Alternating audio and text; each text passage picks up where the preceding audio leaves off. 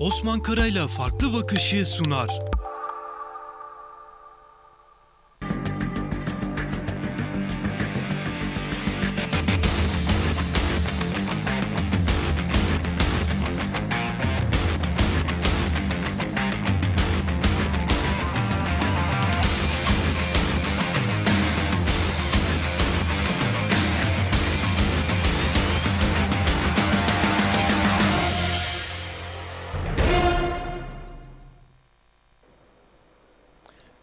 İyi akşamlar değerli izleyiciler.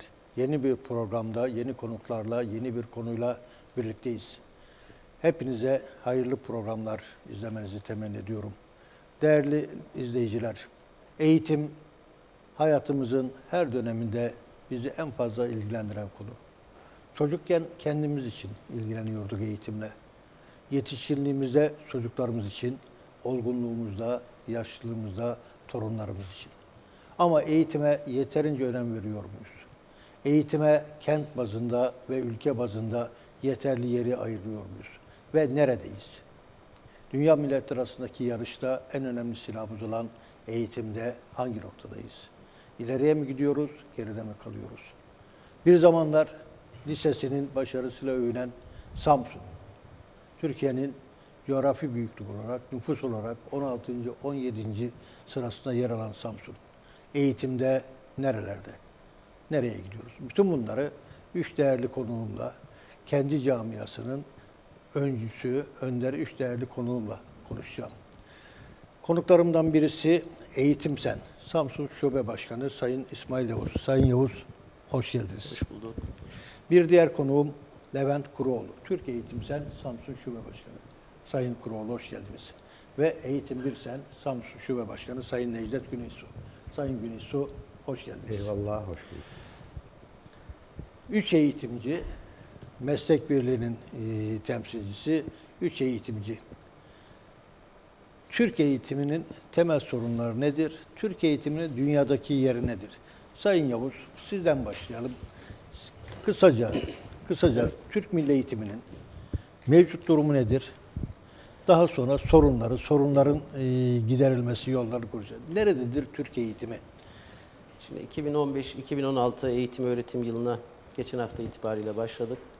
E, bu anlamıyla tüm öğretmenlerimizin tekrardan eğitim öğretim yılını kutlayarak başlamak istiyorum. Tüm öğrencilerimizin yine tekrardan eğitim öğretim yılını kutlayarak başlamak istiyorum. Bizi izleyen seyircilerimize de merhaba, iyi akşamlar diliyorum. E, evet, eğitim gerçekten bu ülkenin çok ciddi bir sorunu ve bu bugün içinde tek başına e, oluşmuş bir sorun da değil. Uzun yıllara dayalı olarak eğitimde ciddi sorunlar var. Günümüzde geldiğimizde ise e, bu ciddi sorunlarda özellikle eğitimin içeriği, niteliği, bilimselliği üzerinden e, bir sorun tarif edilebilir. Bunun dışında da genel olarak öğretmenlerin yani eğitimin bileşenlerinin sorunları üzerinden tarif edilebilir. Öğretmenlerin sorunları çığ gibi büyümekte. Bu çığ gibi büyümenin e, akabinde de e, her defasında çözüm önerileri bir şekilde e, palyatif geçici çözümlerle e, çözülmeye çalışılmakta. Ama eğitimin bugün için ciddi sorunlarından biri özellikle 300 bine aşkın atanamayan öğretmenimiz var. Bu ataması yapılamayan öğretmenlerimiz ya da yapılmayan öğretmenlerimiz gün be gün KPSS sınavlarına girmekte.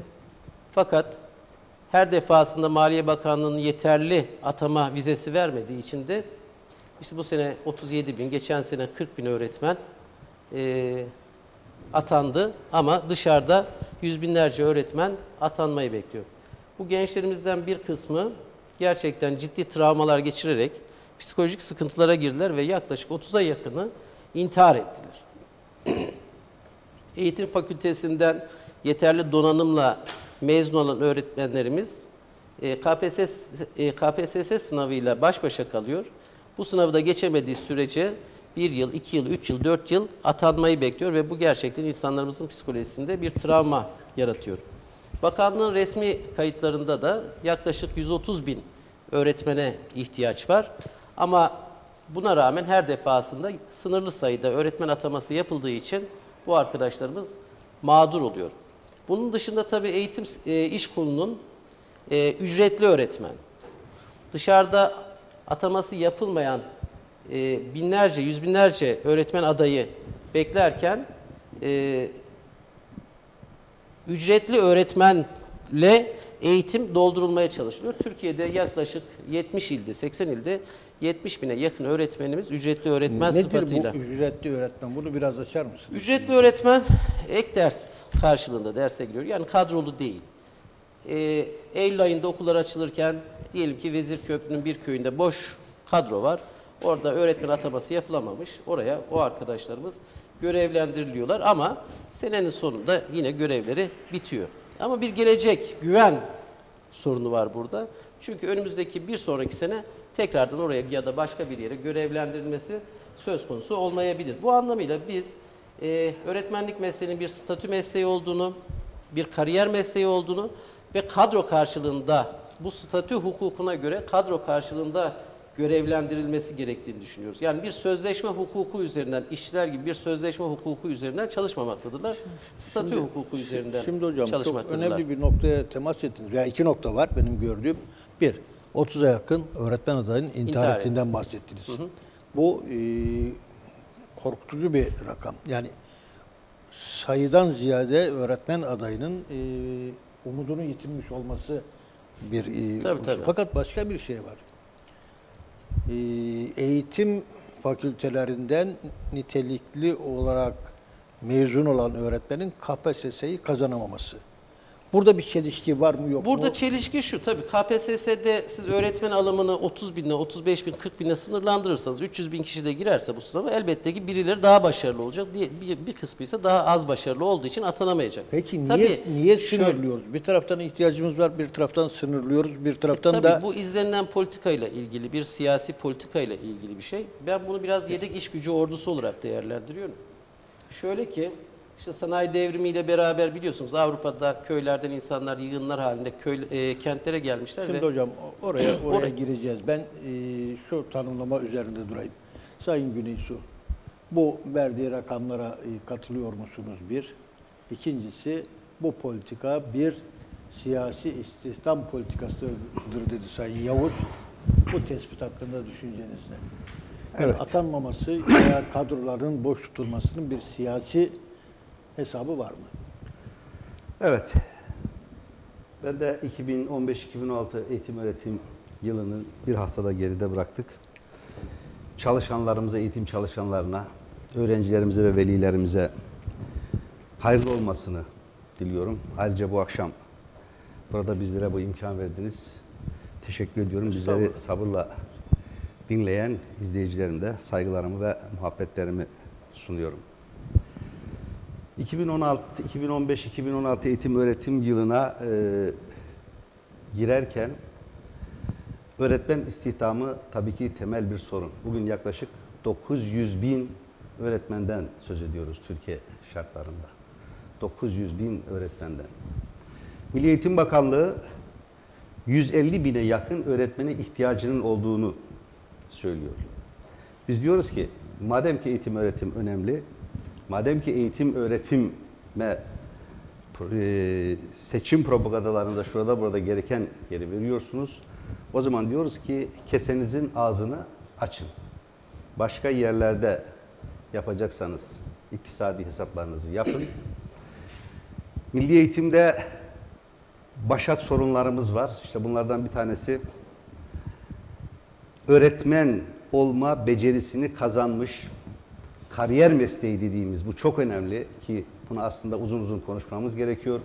Bu ülkede öğretmenlik halen bir kariyer mesleği olarak algılanmamaktadır. Hekimlik bir kariyer mesleğidir. Bu ülkede mühendislikler vardır. Ama öğretmenliğe gelince sadece öğretmen, öğretmenlik mesleğine başlayanlara bir mesleki ad olarak verilir. Şimdi bu tam Sayın- anlamıyla yanlıştır. Yavuz da kariyer mesleği dedi, siz de kariyer mesleği Evet. diyorsunuz. Ama kariyer mesleği olarak kabul edilmiyor diyorsunuz. Kabul Evet. etmeyenler kim? Halk mı yoksa yönetim kademeleri? Hayır yani bu e, geçmişten bugüne kadar e, bütün hükümet, iktidar ve devlet sorunu daha doğrusu. bugüne kadar bir devlet Yani sorunu. vatandaş algısı değil, yönetim algısı. Evet, ya evet bugüne kadar yani şu çok e, artık konuşulmaması gereken bir şeydir. Bu ülkede bir hekimin vekili yoktur. Siz bir sağlık memuruna bu burada hekim yok, siz hekimlik yapın diyemezsiniz. Bir zabıt katibine burada hakim yok, siz hakimlik yapın diyemezsiniz. Dolayısıyla bu ülkenin en ücra köşesinden kentlerin merkezlerine kadar her sınıfa işini bilen uzman öğretmenlerin, işini bilen öğretmenlik mesleği ve formasyonunu kazanmış öğretmenlerin bizzat e, derslere girmesi gerekir. Ya bu yıllarca yani sadece son yıllarda değil maalesef uzun yıllar öğretmenlik mesleğinin yeterince dikkate alınmaması ya da çok kalabalık olduğundan üzerinden ekonomik basit hesaplar yapılmasının bir sonucudur. Şimdi Sayın, Sayın Güneş'in bir yara kanıyor. Devam ediyor Evet. kanamaya. Yaranın uzun süredir kanıyor olması hala kanamasına göz yummamızı gerektirir mi? Kesinlikle. Peki niye Kesinlikle. niye engelleyemiyoruz bunu? Bunu e, her zaman her platformda hem ortamda dile getiriyoruz. Vekil öğretmenlik diyoruz. Kesinlikle olması gereken. Atanamayan, atanması yapılamayan öğretmen adaylarımız var, gençlerimiz var. Bunlar sorun yaşıyor bu ülkede. Bir de bu işin işini bilen en önemlisi eğitim öğretimdeki yenilikleri eğitim öğretime taşıma konusunda verimli olan arkadaşlar bunlar. Yenilikleri hemen okullardan mezun olduktan sonra bu yenilikleri okullara taşıyabilecek birikime sahip genç, dinamik arkadaşlar. Bir an önce var gücümüzde her ortamda söylüyoruz.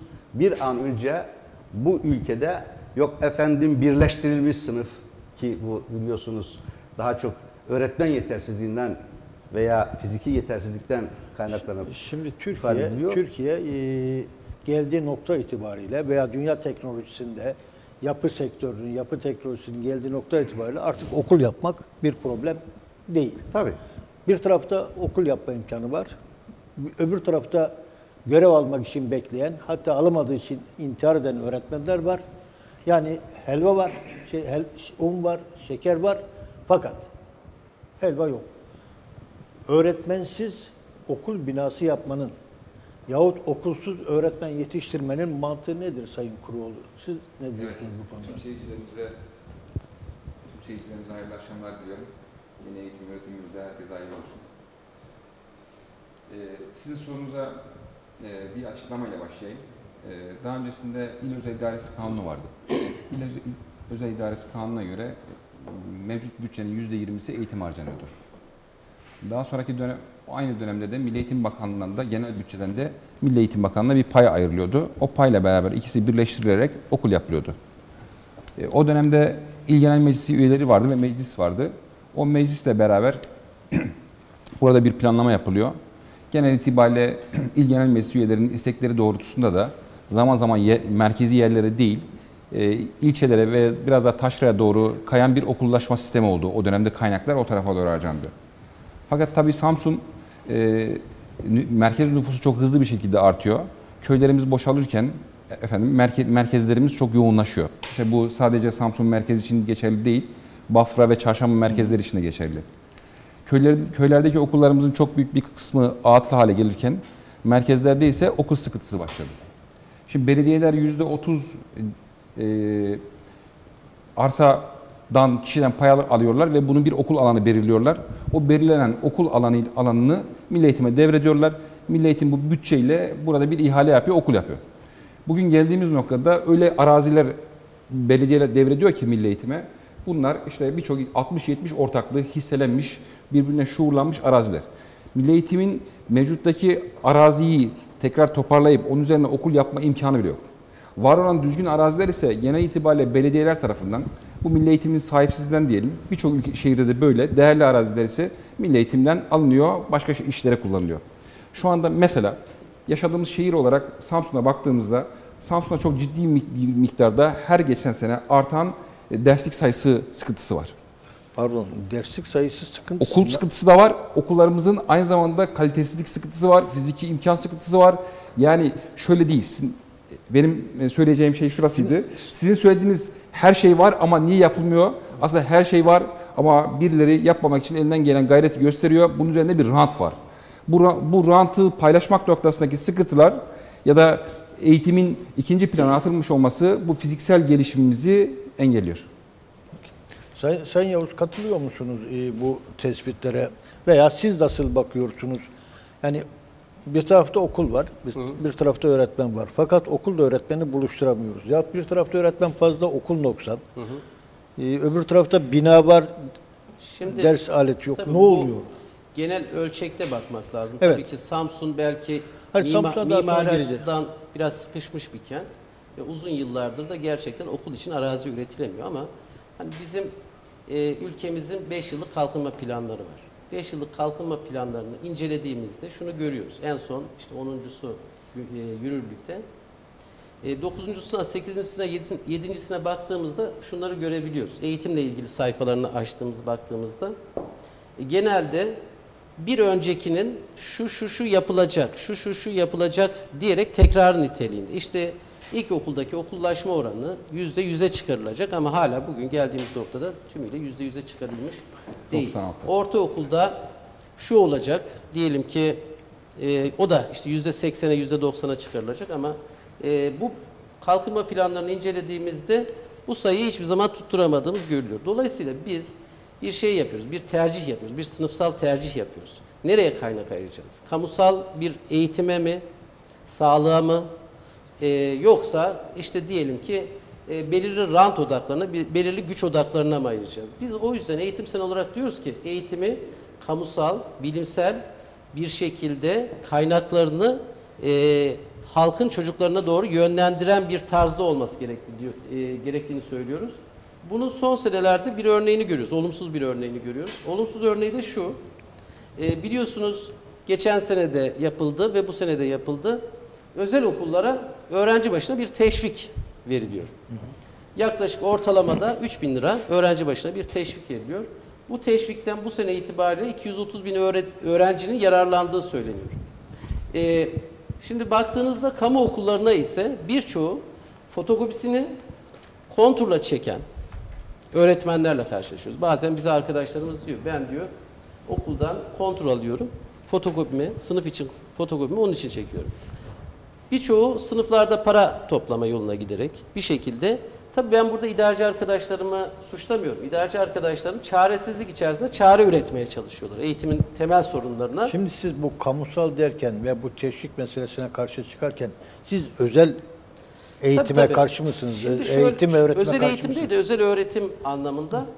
Bu dünyada bir trend tabii. Son 30 yıldır izlenen liberal politikalarla ilgili bir trend. Dünya Bankası uzmanları da, Dünya Ticaret Örgütü uzmanları da şunu söylüyor. Özellikle son 30 yıldır dünyada. Eğitim bir kamusal hizmet değildir. Eğitim insan sermayesine yapılan bir yatırımdır. Dolayısıyla insan, birey bu yatırımın karşılığını ilerleyen yaşlarında işte üniversiteden mezun olduktan sonra alacaktır. Dolayısıyla kendi sermayesine yaptığı yatırımın karşılığını ileride al- alacaksa dolayısıyla kullanan öder mantığı üzerinden bir eğitim mantalitesi mantığı geliştiriliyor. İşte bu süreçte de bu 13 yıllık AKP iktidar döneminde de biz bunu görüyoruz. Kamusal eğitim okullarının tasfiyesi, e, özel öğretimin ısrarla teşvik edilmesi ki en son bunun örneğini temel liselerde gördük. Dershaneleri kaldırıyoruz bahanesi altında. Tabi burada belki siyasi çatışma Bahane da. miydi? Dershanelerin Şöyle tabii ki. bahane miydi? Şöyleydi. Biz dershaneciliği de savunmuyoruz işin özünde. Doğru da olmadığını düşünüyoruz ama bu sınav odaklı bir sistem olduğu için bu ilkokuldan itibaren e, TEOK'uydu, LYS'si, YGS'si sınav odaklı olduğu için insanlarımız tabii uzun yıllardır bu sınavda kendi çocuğunun başarılı olması için dershanelere yönlendiriyor. Haklıdır. Biz de kendimiz de kendi çocuğumuzu dershanelere yönlendirdik. Fakat bu çatışma hani e, AKP cemaat çatışması üzerinden dershanelere yönelik bir salvo atışı başladı ve dershaneler tasfiye edildi bir şekilde ama biraz daha düzenleme yaptı. Anayasa Mahkemesi'nin son kararı vardı. Yine devam ediyorlar ama şöyle demek lazım. Buradan birçok dershane ki altyapısı, fiziki kapasitesi çok sağlıklı olmamasına rağmen e, temel lise statüsüne kavuştu ve temel lise statüsünde özelleşme üzerine inşa edilen. Ve birçok yerde bu temel liselerin sayısı yüzde oranı olarak e, kamu okullarının sayısının ort yani yüzde ellisine denk gelen bir sayıya karşılık gelmeye başladı. Bu bizde şöyle bir sıkıntı yarattı tabii.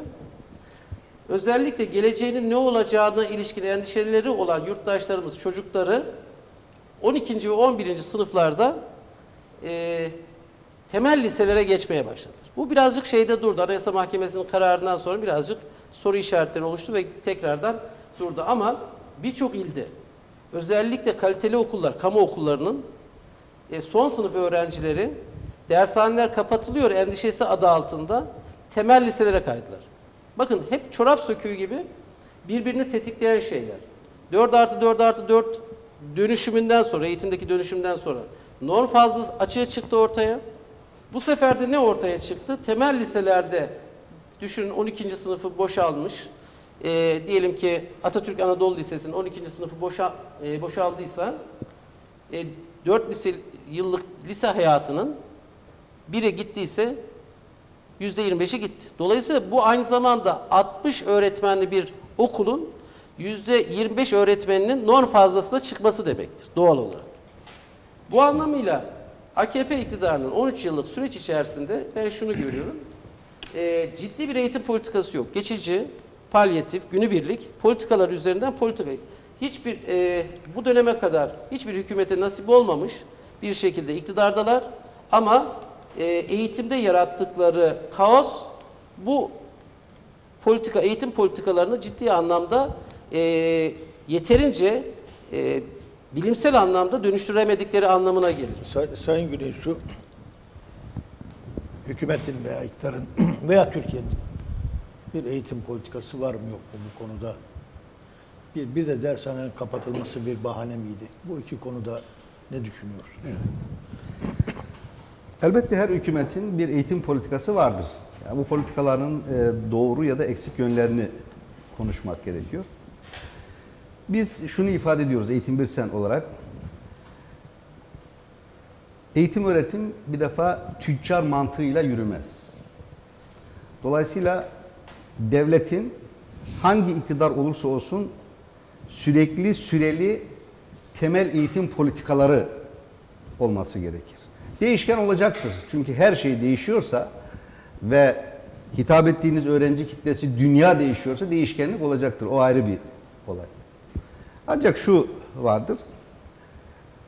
Özel eğitimle ilgili şunu ifade edebiliriz.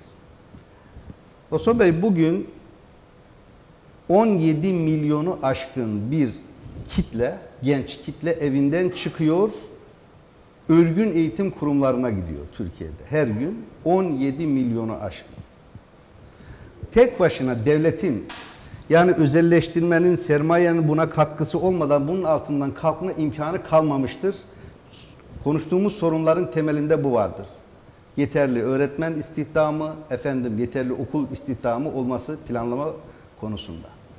Ancak burada devlet vatandaşın anayasal, temel anayasal hakkını koruması gerekiyor. Nerede olursa olsun bir birey eğitim öğretime talip ise devlet onun önündeki çakıl taşlarını ortadan kaldırmak zorunda. Engelleri kaldırmak zorunda. İsterse bu vatandaş dağın başında Vezir Köprü'nün işte Tahta Köprü'nün tepesinde tek bir evde olsun. Bir vatandaş varsa bunu karşılamak zorundadır. Dershanelere gelince biz dershanelerle ilgili şunu söyledik. Dedik ki dershaneler kapatılmamalı, kapanmalı cümlesiyle ifade ettik. Yani burada şunu dedik. Dershaneler bugün bir ihtiyaçtan doğmuştur. Siz o ihtiyaçları, gerekçeleri ortadan kaldırmadığınız sürece dershaneleri kapatmanız çözüm değildir. Yani bu şu anlama geliyor. Yağmur yağıyor, şemsiye kullanmak yasak diyorsunuz. Sokaklar çamursa vatandaşa çizme kullanmak yasak diyorsunuz. Böyle bir şey olmaz. Siz ya bu sistemi köklüce tartışmak gerekiyor. Ya her yıl 2 milyona yakın gencimiz, liseyi bitiren gencimiz üniversite sınavına giriyor ve bunun ancak 500'ünü kaliteli kendi isteği doğrultusundaki okullara istihdam edebiliyorsunuz. Yanlış bir yöntem, yanlış bir sistem, sınava dayalı Sayın Hocamın da dediği gibi sadece sınava dayalı bir sistem olduğu için yanlış bir sistemdir. Şunu da ifade edeyim. Bu sistemin e, yanlışlığından bir tanesi de öğretmen istihdam politikalarıdır. Bugün üniversiteler, her ilimizde üniversiteler açıldı. En kolay eğitim fakültesi açmaktır. İki sıra koyarsınız, üç öğretim görevlisi bulursunuz, bir eğitim fakültesi açarsınız. Ve bakın bugün Türkiye'nin her üniversitesinin bünyesinde eğitim fakülteleri vardır. Biz diyoruz ki köklü üniversitelere, Samsun'daki 19 Mayıs Üniversitesi dahil olmak üzere. Bırakın bu ülkede bir, öğretmene ne kadar ihtiyaç var bu bilinsin.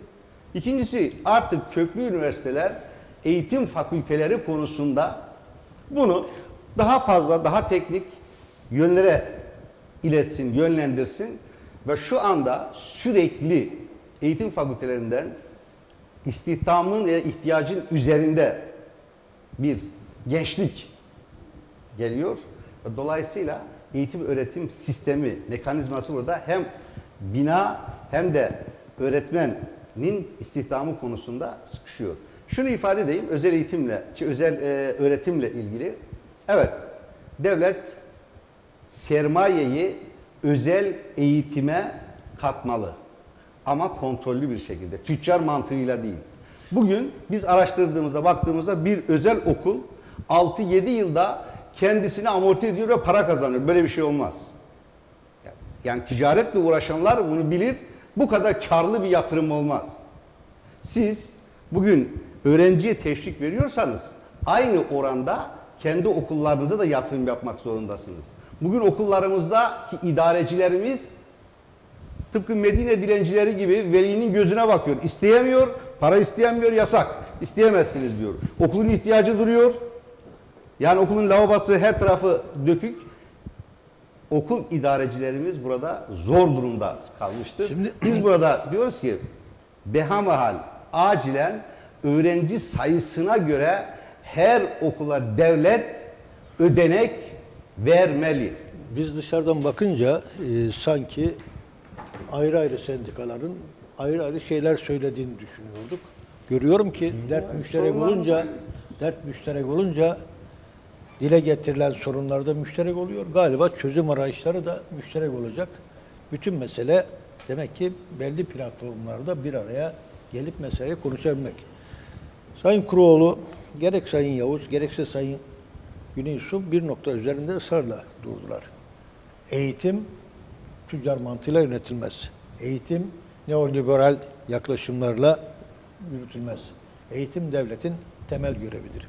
Benim anladığım bir taraftan özel teşebbüs devlet eliyle teşvik edilirken galiba devletin temel görevi olan kendi okullarında şu veya bu gerekçelerle eğitimin seviyesi düşüyor gibi algılıyorum. Evet. Yanlış mı algıladım evet. acaba? Siz e, bu gelişmeleri nasıl değerlendiriyorsunuz? Ne oluyor? Yani 17 milyon e, gencimizin kaderini ilgilendiriyor. 2 milyonlu üniversite kapılarına gönderiyoruz.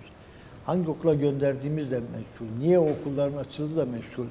Bir zamanlar benim gençlik yıllarımda bir ifade vardı. Bir müdür, bir müdür lise açardı. Bu üniversitede bir profesör ismini vermeyeceğim şimdi. 3-4 yıl önce bir ifade kullanmıştı. Bir mekan, bir dekan fakülte açıyoruz demişti. Şimdi nedir gerçekten bu eğitimdeki keşmekeş? İki değerli konuğun bu görüşlerinin neresine katılıyorsunuz, neresine katılmıyorsunuz? İlave ne söyleyeceksiniz? Evet. İki değerli başkanımın da söylediklerine katılıyorum. Yani ikisi de önemli konulara değindiler. Tabii devlet şu anda üzerindeki eğitimle ilgili öğrenci yükünü atmak, yeni binalar tesis etmemek için e, öğrenciye teşvik vererek e, öğrencileri özel okula yönlendiriyor. Bu geçiş, bu sadece bu yıl teşvik verilen öğrenci sayısı 200 bin. Yani 200 bin öğrenci teşvik verildi. Tabii biz özel sektördeki arkadaşlarımızın efendim eğitime, eğitim noktasında yatırım yapmalarını destekliyoruz. Onlar da özel okullar açsınlar. Ee, dünyanın her yerinde de bu özel okul mantığı çok eskiden beri var. Çok başarılı Türkiye'de de özel okullar da var. Fakat e, bu yapılırken yani bir rekabet devletle, devlet okullarıyla özel okullar arasında bir rekabetin olması lazım. Devlet öyle bir şey yapıyor ki mesela bir bir okulda bir öğrenciye 3600 TL destek verirken e, bir devlet okulunda 0 TL yardımda bulunuyor. Mesela herkes bilsin diye söylüyorum. E, Sürekli İsim, yani isim, isim vermeden. Yok isim vermeden herkes bilsin diye söylüyorum. Ee, devletin bir okula yaptığı yardımlar vardır. Bellidir onlar. Bir, e, doğal gaz yok ise odun ve kömür parası verir. Yani odun ve kömür yardım yapar. Doğal gaz varsa doğal gaz faturasını öder. Elektrik faturasını öder, su faturasını öder. Bir de devletin verdiği bir internet vardır. Büyük okullarda yeterli olmaz, bunu öder. Bunun dışında hiçbir şeyi ödemez. E, Sayın Başkan'ın söylediği gibi harbiden de Medine dilencisi oluyor müdür arkadaşlarımız, okul yöneticisi arkadaşlarımız. Okulda temizlik elemanı yok, okulda memur yok, okulda fiziki imkansızlıklar var, temizlenemiyor ve siz bu okullarla okullarla özel okulların özel okulların birbirleriyle rekabet etmesini istiyorsunuz. Özel okullar şunu da yaptılar bu sene. Biraz önce İsmail Başkan da söyledi. Mesela Atatürk Anadolu Lisesi'nden son 12. sınıflarda 2 sınıf boşaldı. Tülay Başkan Anadolu Liselerinden 2 sınıf boşaldı. Özel okullar bu noktada zekice bir işlem yapıyorlar. Yani aslında bizim 12 yıllık emeğimizi aldılar şimdi. Aldılar. Yani bizim devlet Şimdi- okullarından şimdi özür dilerim. 12 yıllık emeğimizi aldılar. Özel okula götürdüler ve bir yıl orada okuyacaklar. Bu çocuklar hukuk kazanacaklar. Bu çocuklar tıp kazanacaklar. Bu çocuklar mühendislik kazanacaklar. Sayın Denecek Kurul- ki özel okullar Sözünüzü kesiyorum. Ee, Kaldığınız yerden devam edeceksiniz. Benim küçük torunum bu şehirde çok iyi bir okulu, çok iyi bir puanla kazandı. kazandı. 12. sınıf öğrencisiydi. Hiçbir özel okul onu çağırmadı. Ben aldım götürdüm bir özel okula verdim. O okula da şey yok, teşvik de yok. Evet. Ama niye? O işte e, daha önce dershane falan vardı. Dershane kapatıldı veya bir bahane edildi. Evet. Ben çocuğumu aldım. O iyi bir okulun, iyi bir okulun son sınıftan aldım, götürdüm bir özel okula verdim. Evet. İyi de bir özel okula verdim galiba. Devlet teş- devlet teşvik ediyor zaten bunu. Şöyle ki yani mesela diyor ki devlet yani öğrenci olabildiğince hızlı bir şekilde gitsin. Yani özel okula giderse ben kendi üzerimdeki yükü atarım diyor. Siz de o sebepten dolayı götürüyorsunuz, veriyorsunuz. Mesela en son uygulaması nedir devletin? Ortada bir sınav sistemi var. Bundan önceki yıllarda öğrenciye mazeretli mazeretsiz velinin imzasıyla beraber 45 güne kadar izin veriliyordu. Bu önemli bir kazanım çünkü çocuk sınav stresi var, bir sınava girecek. Olmaması gereken, dünyada eşi benzeri olmamış büyüklükte bir sınava girecek bir çocuk. Ve tuttu Milli Eğitim Bakanlığı bu sene dedi ki bir genelge daha yayınladı. Dedi ki buradaki devamsızlık 30 gün olacak. Şimdi haliyle e, dershane de yok ortada. Bir cemaat, bir iktidar hesaplaşmasının sonucunda Türkiye'de eğitim sistemi çok ağır bir de darbe aldı. Yani dershaneleri kapatacağız derken başka başka eğitimde sıkıntılı işler meydana geldi. E, bununla beraber kaosu gören veli çok hızlı bir şekilde sizin yaptığınız gibi gitti özel okula verdi. Verdi. Yani ben bu noktada şunu söyleyemem. Diyemem ki yani bir arkadaşlarımız niçin veriyorlar, niçin bunu tercih ediyorlar diyemeyiz. Burada sorumluluk ve sıkıntıyı yaratan devlettir. Devlet bu noktada e, üzerine düşen sorumlulukları yapmamıştır. Efendim eğitim sistemini düzgün e, bir raya koymamıştır. Mesela dershane meselesi. Kapattılar. Evet kapattınız. Ne oldu? Şu anda özel e, çokça miktarda arkadaş arıyor. Diyor ki ben matematikten özel ders aldıracağım. Ben fizikten, kimyadan özel ders aldıracağım. Öğretmen bulamıyorlar. Özel ders veren öğretmenlerin fiyatları uçmuş durumda şu anda. Yani siz bir şeyi kapattığınızda, sorunu ortadan kaldırmadan bir dershane meselesini kapattığınızda ortaya başka bir ne çıktı? Ne, ne demişti başbakan? O zaman başbakanı demişti ki bunlar 3 bin lira, 4 bin lira, 5 bin lira dershanelerde insanları sömürüyorlar demişti. Yani insanların cebinden para çıkıyor demişti. Bugün getirdikleri korku imparatorluğunda ne oldu? İnsanlar bir sefer 10 bin lira, 12 bin lira, 13 bin lira verip 15 bin, büyük şehirlerde 30 bin, 40 bin verip özel, özel okula gitmek zorunda kaldı. Yani burada bence e, bu işin tamamının sorumlusu devlet şeydir. AKP iktidarı. Şimdi peki e, mevcut iktidar sorumlu. Bizim eğitim sistemimiz darbe yemeye son 10 yılda mı 13 yıldan mı başladı yoksa eskiden beri gelen bir yanlış var? Acaba şöyle bir şey diyebilirim. Bizim öğretmen yetiştirme politikamızda sadece öğretmen anlamında değil, eğitim anlamında, ideal anlamında bir değişiklik oldu mu? Bilmiyorum yanlış mı olur. Ben gençlik yıllarımda köy enstitülerinin solcu olmasını çok eleştirmiş birisiyim.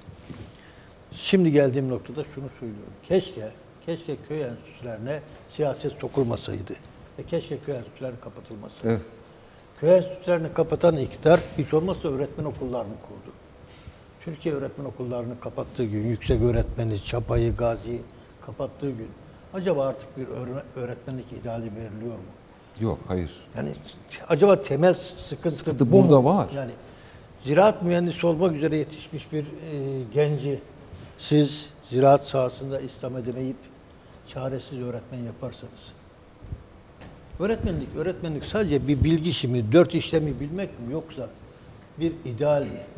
Sayın Kuroğlu. Şimdi Necdet Bey orada o eğitim fakülteleriyle ilgili bilgi verdi. Siz de onun, onunla ilgili güzel bir örnek verdiniz. Şimdi orada bizim öğretmen yetiştirme sistemimizi topyekun yeniden bir değiştirmemiz lazım. Fakat bunu e, yaparken geriye dönelim. Şimdi bizde 30 yıllık, 35 yıllık arkadaşlarımız var. Çok iyi eğitim eğitim alarak gelmiş arkadaşlarımız da var. Yani hani bir tarafta doğrudur. Yeni yetişen öğretmen arkadaşlarımızın eğitim fakültesindeki hocalarımızın da ifadesiyle çok iyi bir sistem yok, çok iyi donanımlı gelmiyorlar, çok iyi yetişmiş gelmiyorlar. Ha, ben Benim yüksek lisans yüksek lisans tezi yaparken hocam bana de- hocam bana demişti ki efendim Leventciğim ben o zaman yine sendika başkanıydım. Türkiye Eğitim Sen üyesiyim. Dedi ki sen sana en çok şey yapacak e, karşı olabileceğin bir şeyin e, savunmasını vereceğim. Dedi ki köy enstitülerini araştır gel. Ben mesela o dönemde oturdum köy, enstitülerini o araştırdığım gün şuna karar verdim. Aynı sizin belirttiğiniz gibi bunlar keşke kapatılmamış olsaydı, keşke siyasallaşmamış olsaydı. Bunlar çok önemliymiş, çok önemli şey, önemli bir kurummuş. Yani devamı gerekiyormuş. Bugünkü eğitim fakültelerin fakülteleri e, sıkıntılı bir eğitim veriyor. Hatta ve hatta ben çok eski dönem eğitim 12 yıl önce mezun olmuş bir öğretmen olarak şunu da çok sö- söyleyebilirim. Hatta eğitim vermeden mezun oluyoruz da bile diyebiliriz. Ama bakın şurayı da kaçırmamak lazım. Şimdi kaç yıllıktı İsmail Bey? Kaç yıllık öğretmen? 27. 27 yıllık. İsmail Bey 27 yıl önce mezun oldu. Yani bu işlerin, eğitim fakültelerinin daha kaliteli olduğu dönemlerde meydana geldi. Yani bu tür öğretmenlerimiz de var. Bence sadece öğretmen meselesi, meselesinin dışında bir şeye daha bakmamız gerekiyor. Bir koro varsa, mesela birisi flüt çalıyorsa, birisi davul çalıyorsa, birisi başka bir şey çalıyorsa, neyi çalıyorsa, onları yöneten bir şef olacak. Yani bence Türkiye'deki kaliteli öğretmen çok miktarda var. Şartlar buna müsait ama bence bu koro yöntem itibariyle, yönetim itibariyle doğru yönetilmiyor. Şimdi İsmail Bey'i, ben İsmail Bey'i Fen Lisesi müdür olduğu zaman da e, tanıdım. Ben o zaman İlk Adım Belediyesi'nde özel kalem müdürüydüm. Osman abinin çok katkısını görmüşüzdür sağ olsun. Şimdi- Onu da burada analım. Okulların okulların e, imkansızlıklarını o yıllarda çok yakından gördüm. Biz birçok okula belediye işçisini gönderdik okulların temizlenmesi için. Birçok okulda tamiratlar, şunlar bunlar yaptık ki aslında bu suçtur. Yani bugün bugün milli eğitim konusunda hassasiyet olmayan bir müfettiş gitsin bütün belediye başkanlarını zor duruma sokar. Ama okullar iyi gerçekten perişan yani okulların gerçekten onu şeyde ben İsmail Bey'in o müdürlüğü zamanında orada gördüm diğer okullarda gördüm. Ben bunu söylerken bütün eğitim fakültelerini eleştirmiyorum. Sadece onları da eleştirmiyorum. E, Mensup olduğum hukuk camiasında da e, falan okulla falan okulun kalitesini Eğitimin genel bir kalitesi ya- düştü. yapma evet. durumunda değilim tabii. E, Ama öğretmenlik bizde çok kutsal bir kavramdı. İki kavram, iki kavramı Anadolu insanı farklı görmüştür. Anadolu insanı e, çocuğunu paşa diye sevmiştir. Benim paşa torunum diye sevmiştir. Paşayı generalden ayırmıştır. Türk insanı hocayı da öğretmenden ayırmıştır. Yani e, benim çocukluğumda baş öğretmen Rüştü Elmacıoğlu vardı gününde. Babamı dokutmuştu, beni dokuttu ama herkes Rüştü Bey'i görünce önlülükler kenara çekilir Rüştü Bey'e yol verdi. Şimdi öğretmen o saygı da. En son yapılan anket biraz daha şeyin arttığını gösteriyor. Yani şeyi söylüyor. Mesela en son bütün ulusal medyada yansıyan anketlere göre şu anda Türkiye'de meslekler itibariyle en fazla saygınlığa sahip meslek %86 ile öğretmenlik. Yani ben onlarda mesela e, sağlıkçılar %81 ile askerler %74, polisler %60, yargıçlar %44, dini liderler %43. Efendim gazetecileri atlayalım, politikacılar %17. Gazetecileri Yani Şimdi listeye aslında- girmesi başarılı. Evet. Eğitim, as- eğitim fakültelerini zan altında bırakmamak lazım tabii. Tabii, tabii Burada ya ben- hani- Değil zan altında bırakmak değil de bir eksiklik var. Tabii tabii. Eğitim fakültelerinde mutlaka değerli hocalarımız var ve yıllardan beri de emekleriyle beraber çalışıyorlar. Buradaki sıkıntı bir politika Tabii. sorunu. Çünkü siz ki üniversite mantığı bir gelenek mantığıdır. Yani gelenek derken Avrupa'da bakın birçok üniversitenin 250, 300 yıl, 400 yıl geleneği vardır. Bizde ise gelenek yaratılmadan eee, geçen televizyon programında da söyledim. Sırf üniversite açmış olmak için o yörenin belki esnafına katkı olsun diye işte buraya 3-5 bin öğrenci gelsin diye e, bir üniversite açarsanız Onun devamında da oraya bir eğitim fakültesi koyarsanız, ondan sonra onlara da e, gerçek bilimsel anlamda eğitim verecek akademik kadroyu da tahsis edemezseniz elbette ki oradan yetişen öğrenciler gerçek anlamıyla öğretmen vasfını kazanamıyor olabilir. Burada hani eğitim fakültesinden ziyade e, bir insan planlamasının olmamasından kaynaklı olarak bizim önümüzdeki 20 yıl, 30 yıl, 40 yıl, 50 yıl ne kadar öğretmene ihtiyacımız var? Ki doğum oranları belli, istatistikler belli. Kaç milyon öğrenci önümüzdeki 10 yıl eğitime gireceği 3 aşağı 5 yukarı hesaplanabilir. Ve buna paralelinde de bu eğitim süreçlerine giren öğrencilerin ne kadar öğretmene ihtiyacı olacağı hesaplanabilir. Burada aslında bir kaynak israfı da söz konusu. Oralarda çocuklar okuyor. Aileleri her ay belki onlara yeni parayla 1000 lira para veriyor, 1500 lira para veriyor. O çocuklar bir umutla biz öğretmen olacağız. Ailesi de benim çocuğum öğretmen olacak diye bir umut tacirliği yapılarak bu öğretmenlerimiz oralardan mezun oluyor. Ama daha sonra da bir hüsran, Var. hüsranla karşılaşıyorlar. O yüzden eğitim fakülteleri politikasını değiştirmek lazım. İnsan kaynağını iyi planlamak lazım diye düşünüyorum. Hocam özür dilerim. Burada ben şu katkıyı yapayım. Arz talep meselesi. Ben sizin kaygılarınıza katılıyorum. Ama bugün sizin kaygılarınız eğitim öğretimde bir kaygı değil. Bakın bugün en büyük israf Osman Bey eğitim öğretimde yapılıyor. Yani Türkiye'de en büyük israf. Yani biraz önce e, verimli alanlarda kullanılıyor dedik ya. Diğer alanlarda en büyük israf eğitim öğretimde yapılıyor. Ne dedik? 2 milyon gencimiz her yıl üniversite sınavına giriyor. Bu ne demektir? Biz ilkokulda çocuklarımızı başlattığımız andan itibaren bu çocuklarımızın yetenekleri nedir, özellikleri nedir bu bilgilerle donatmıyoruz. Bakın biz 2-3 yıl önce Türkiye'de eğitim öğretim e, politikaları diye bir sempozyum düzenledik ve orada Türk asıllı İngiltere'de bir öğretim görevlisi Türkiye üzerinde bir ekiple çalışma yapıyor. Diyor ki siz bu eğitim öğretim politikalarınızla çocuklarınıza öğrettiğiniz bilgilerin yüzde 60'ını çöpe atıyorsunuz diyor. Çöpe atıyorsunuz, gereksiz bilgi öğretiyorsunuz. Bugün bizim tıp fakültesine giden öğrencimiz bu ülkenin coğrafi özelliklerini, iklim özelliklerini efendim asla akademik eğitimde kullanmayacağı bir sürü bilgileri yüklenerek gider. Çok ilginçtir. Samsun'da sosyal bilgiler de burada lisesinde seçmeli ders matematiktir. Neden? Öğrencimiz ancak farkı matematik dersiyle atıyor. Bak sosyal bilgiler lisesinde seçmeli ders matematiktir. Yanlış mı Ve- sizce? Yanlış hocam. Neden yanlış? Çocuğumuz niye matematik dersini seçiyor? Sadece ve sadece sınavda bana matematik sorusu sorulacak.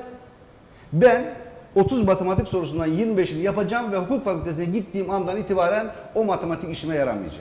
Yani sınav odaklı sistem siz başta söylediğiniz. Fakat hani o- o kaygıyı anlıyorum da Ve dershane şöyle- sorunu da bu sorundur. Bugün bakın şunu ben ifade edeyim. Şurada e, kısmen katılıyorum. Gerçekten bugün öğretmenlerimiz, eğitim fakültesinde mezun olan öğretmenlerimiz yeterli donanıma, kendi meslekleriyle ilgili, bir fen bilgisi öğretmenimiz, bir müzik öğretmenimiz kendi branşıyla ilgili yeterli donanıma sahiptir. Ancak devlet okullarında bu öğretmenlerimize kendi işinin dışında bir sürü angarya işler yükleniyor. O okulun bir okul yani özel okullarda bu sorun yoktur. Özel okulda matematik öğretmeni kendisini matematiğe odaklamıştır. İşi gücü odur. O zümreyle ilgilenir.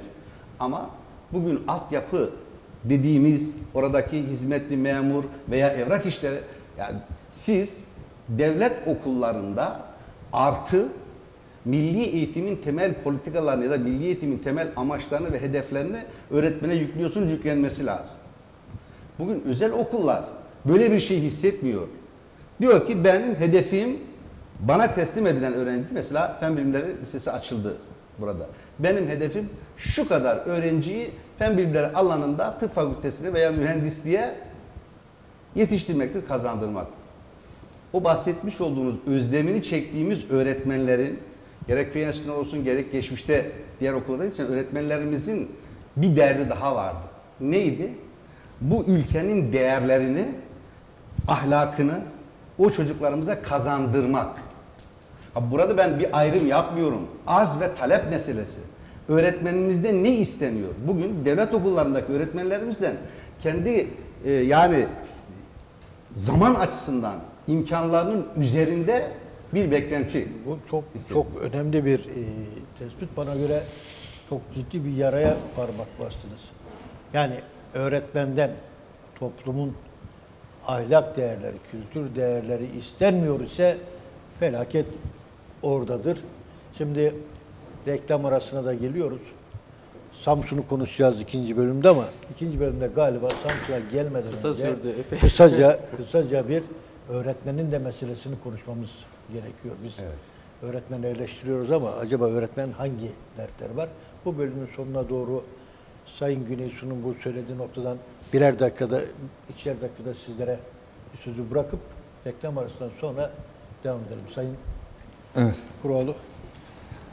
Tabii geçen gün bir karikatür görmüştüm. Karikatürde yazıyor ki eğitim sisteminde iki tane eksiklik var diyor. Bir tanesi eğitim, bir tanesi sistem. Evet. Bu Milli Eğitim, bu bakanlığın ismi de Milli Eğitim Bakanlığı. Yani burada biz her eğitim yılına da şöyle diyoruz, eğitim ve öğretim yapmak üzere e, oradayız. Yani eğitim ve öğretim yapmak üzerine. Ama bakanlığın is- ismi ise Milli Eğitim Bakanlığı. Yani biz çocukları eğiteceğiz.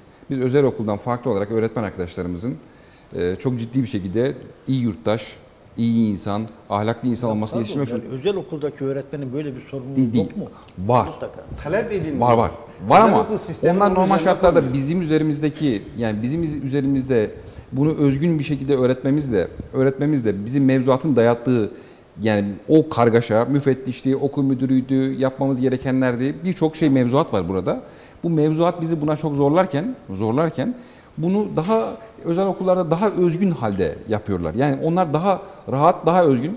Bir noktada bir noktada da bazen de zaman zaman da bizim yapmaya çalıştığımız şeyleri özel okullarda yapmak yerine çocuğun bunun ailesine aldığıyla, ondan toplumdan gördüğüyle yeterli yeterli şekilde devam etmesini sağlıyorlar. Ben öğretmen mesleğiyle ilgili olarak biraz önce söylerken e, eğitim fakülteleriyle, eğitim fakültelerinde arkadaşlarımız geri yani okula öğretmen olduklarında yeterli bilgiye sahip olsalar bile e, burada meslekle ilgili olarak, olarak yani nasıl bu işlemi yapacaklar, nasıl bu eğitimi verecekler, nasıl öğretecekler bununla ilgili yeterli bir bilgiye sahip olmadıklarını düşünüyorum. Yani yeterli derecede bu noktada yetişmediklerini düşünüyorum. Çünkü ben hiç unutmam bu örnekle aslında öğretmenin durumunu anlatan bir örnekle bitireyim burada ben sözümü. Ben Asarcık İbo'ya atandığımda 3 öğretmen atanmıştık. Bir tanesi Türkçe öğretmeniydi, bir tanesi müzik öğretmeniydi. Ben sosyal bilgiler öğretmeniyim. Asarcık İbo'nun işine girdik. İşte müdür odas- odasındayız. Müdürü beklerken e, o zaman Yavuz Selim telefonla kız arkadaşıyla konuşuyor. Dedi ki vallahi de billahi de beni köy okuluna atadılar. Herhalde karşıdaki inanmadı. Vallahi de billahi de bak yemin ediyorum dedi. Müzik öğretmeni bu. Dedi ki en son vallahi de bak billahi dedi. Karşıdan inekler geçiyor dedi ikna etmek için. Yani o mezun olurken mezun olurken bir müzik öğretmeni olarak bir köy okulunda oku, ok- öğretmenlik yapacağını bilmiyordu. Bu noktada bizim eğitim fakültesi noktası eğitim fakültesinden çok ciddi bir öğretmen eğitim yapmamız gerekiyor. Şimdi ben Sayın burada Yavuz. bir şey söylemek istiyorum. Ee, Levent Başkan %86 öğretmenlere toplumsal güven var. Bu güven ne yazık ki siyasi iktidarlarda yok. Öğretmenlere güven yok. Hani bu anlamıyla son yıllarda öğretmenlik mesleğinin itibarsızlaştırıldığını düşünüyorum. Ee, biraz önce başkanların hepsi de söyledi. Angarya çalışma anlamında öğretmenlere fazlasıyla yük verilmeye çalışılıyor. Bunun ötesinde ben siyasi iktidarların özellikle de son dönem bakanların öğretmenlerle ilgili çok talihsiz cümleler kurduğunu düşünüyorum. Örneğin e, Ömer Dinçer, Milli Eğitim Bakanı, Eminönü'nde yem bekleyen güvercinlere benzetti öğretmenleri. E, atanamayan, ataması yapılamayan öğretmenleri, yapılmayan öğretmenleri e, yem bekleyen güvercinlere benziyorlar dedi. Bir başka bakan dedi ki bunlar kahvede pişpirik oynuyorlar dedi. Sayın Başbakan da dedi ki ya bunlar iki ay tatil yapıyor. 15 saat derse giriyorlar. Zaten bu kadar da para alıyorlar. Dolayısıyla bu mesleği özellikle statü hukuku, kariyer hukuku üzerinden olması gereken mesleği gelin sizi sözleşmeli yapalım, gelin sizi işçi yapalım üzerinden bir politika geliştirilmeye çalışılıyor.